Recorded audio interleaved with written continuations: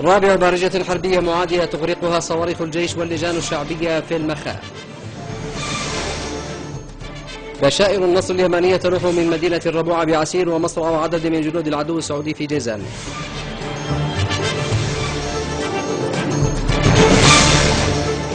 تقدم كبير للجيش واللجان في الضالع ومأرب وتعز وسط تقهقر كبير لقوات العدوان ومرتزقتهم.